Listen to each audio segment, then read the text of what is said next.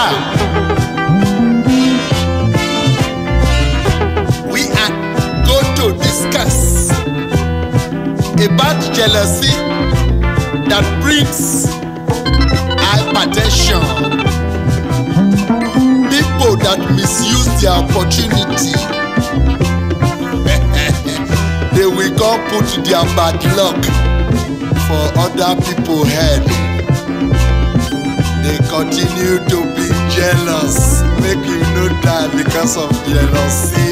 Hey, hey. Jealousy ga gbọmọ ọ̀rọ̀. Jealousy ga gbọmọ ọ̀rọ̀. Ọ̀pẹ̀ mọ̀ fún Jealousy ga gbọmọ ọ̀rọ̀. Jealousy. Jealousy ga gbọmọ ọ̀rọ̀.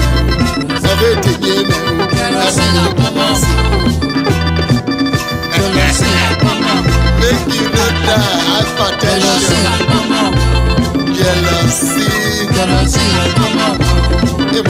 biebe wuwa ko mɔmɔdo ha ɔyɛ nu ha gbele ama sumati ɔnɔ ayɛ nu ha gbele james dama be ɔnɔ ayɛ nu ha gbele mɛmɛnu wa ti do iwa yɔnu gabi ha gbele ekpemɛnu wa ti do iwa yɔnu keke ha gbele ekpemɛnu wa ti do iwa yɔnu baleba ha gbele jɛlɛsi ha gbama jɛlɛsi.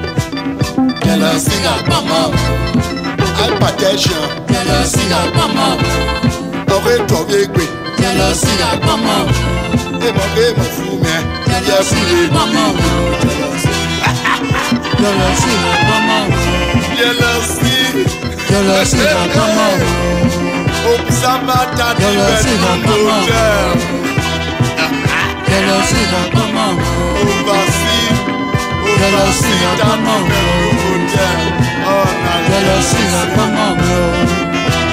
Make you no die.